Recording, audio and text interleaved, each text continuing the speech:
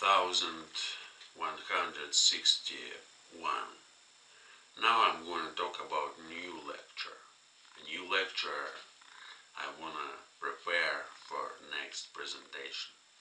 Yesterday I tried to take a rest and did nothing, but it actually wasn't so easy. I mean, it wasn't actually the rest. I was reading a lot. I was watching some videos and playing, playing chess was a part of my rest. So for a few hours I was play, play I played with uh, computer. But uh, again, let's let's focus on the topic. So I, I need to find something else to continue talking about this uh, way of learning. I mean, my way of learning to think in English, to learn to think. Not only learn to learn English, but thinking as well.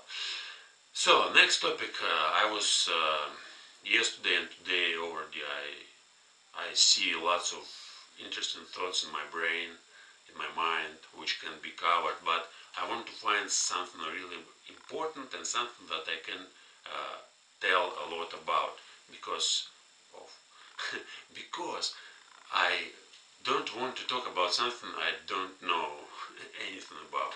I need to find a real, for example, I can talk about, I can create the, whole lecture about self-talk and I can use it, I mean, I can talk about self-talk endlessly because what I'm doing right now, it's just five minute exercise and I can I can take it, take the whole concept, I mean, I can write some the whole the whole big lecture, ten pages about uh, self-talk, and and what that's actually amazing topic. Also, I can talk about writing, about uh, journaling.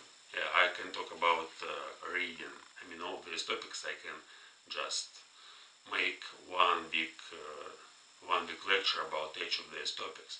Uh, there are another opportunities. I can talk about I can talk about uh, some something like body language. For example, last uh, 15 days or more, 15 or 20, I was researching about this a lot and now I knew. But it's not something, again, I can talk about it, but my body language still isn't uh, well, still isn't good enough.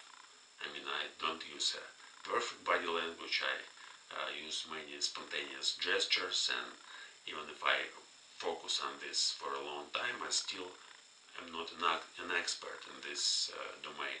But in reading, in reading and writing, of course, I can, in self-talk, I can say, look, I already record about 500 short videos, and I know a lot about it, and I know how to motivate my yourself. Yourself, I know how to uh, make it better. I know how to have progress in all this uh, stuff, like writing and self-talk. But for me, yeah, I see that my writing is, improves much faster, has been improving much faster than my self-talk, because I pay a little less attention to self-talk and to my ability to communicate, to speak, to communicate through speaking rather than through writing. So when I write, I write much better and uh, it motivates me more to focus on writing rather than speaking. And there's the, there's